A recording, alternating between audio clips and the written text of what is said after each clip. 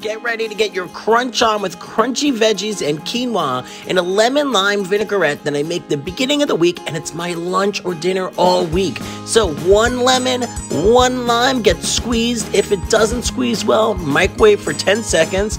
Best friends forever, salt and pepper come to all the dinner parties. Some garlic powder this way, it gets all the way through the dressing and you don't get chunks of garlic. Red pepper flakes, and we're gonna make it creamy with a tangy Dijon mustard. Let's pour in our extra virgin olive oil, about a half a cup, and whisk it. And as you whisk it, remember you are awesome just the way you are. Take your quinoa out that you have cooked to package instructions and then leave it in the dressing for 15 minutes to absorb.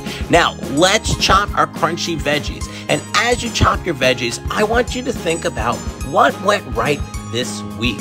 What happened today that got you closer towards your dreams? I want you to have a crunchy dinner that makes you happy and healthy, and I want you to dream big.